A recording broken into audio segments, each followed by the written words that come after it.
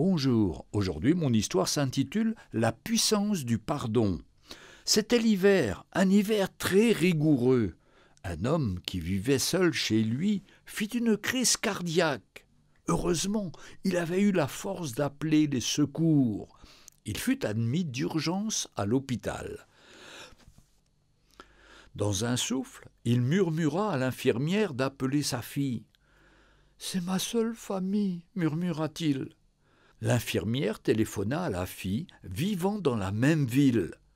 La fille éclata en sanglots. Allô, allô, ce n'est pas possible, ce n'est pas possible. Gardez-le en vie, je vous en supplie. Il faut que je lui parle avant qu'il ne meure. L'année dernière, on s'était disputé violemment. Je suis parti en claquant la porte et je lui ai crié Je te hais. Mais aujourd'hui, je réalise que ce n'est pas vrai. Je ne le hais pas. Je ne le hais pas. Je ne le hais pas.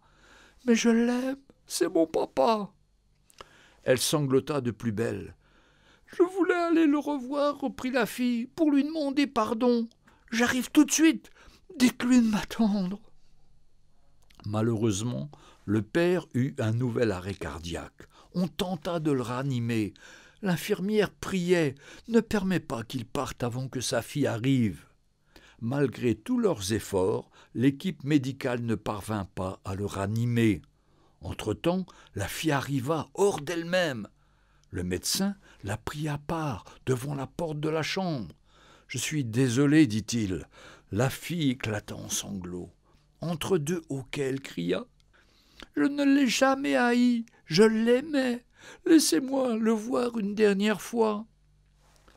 L'infirmière la fit entrer dans la chambre. La fille se jeta sur le corps de son papa. Il était là, inerte, mais avec un beau sourire sur le visage.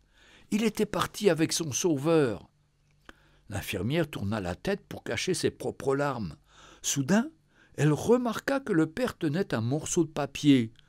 Elle ouvrit doucement la main pour prendre le papier, et elle lut. Ma fille chérie, je te pardonne, je sais que tu ne me hais pas, et moi, je t'aime, et je prie que tu me pardonnes aussi. Je pars retrouver mon Sauveur, le Seigneur Jésus, qui a tout pardonné à la croix. Nous nous retrouverons là-haut avec lui pour toujours. Persévère dans ta communion avec le Seigneur, Sache que je t'aime, ton papa. Quelle grâce Le pardon nous libère. Le pardon fait de nous des hommes et des femmes libres qui pouvons à nouveau le servir. C'est pourquoi ne laissez pas aucune amertume venir dans votre cœur, mais cherchez le Seigneur et criez auprès de lui afin que vous puissiez avoir l'occasion de pardonner et de le dire à la personne que vous avez offensée. Que le Seigneur vous bénisse et à bientôt.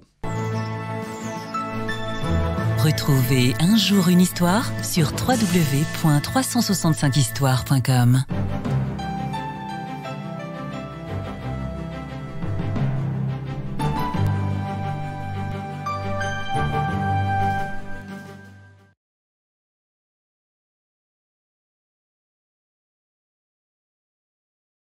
Chers amis, vous avez été encouragés par cette vidéo? Retrouvez d'autres belles histoires inspirées de faits réels sur ma page internet sous différents supports et particulièrement nos 5 livres de 365 histoires en papier ou en numérique. Commandez-les dès aujourd'hui et soyez livrés chez vous en toute tranquillité.